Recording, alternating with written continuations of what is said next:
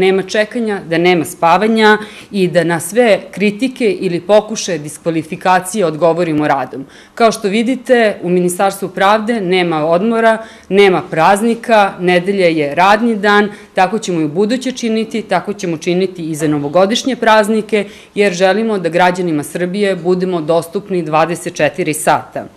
Od 1. januara sudovi će raditi u dve smene, građani će moći svoje podneske ili odgovarajuće akta da, da overe i posle radnog vremena, radit će se do 8 sati uveče i na taj način želimo da pošaljemo dve poruke. Prva poruka je da pravda i sud građanima Srbije će biti dostižna, znači i posle radnog vremena, a druga poruka je da želimo da zaštitimo i zadržimo radna mesta u ovom momentu kada još uvek svetska ekonomska kriza nije prošla.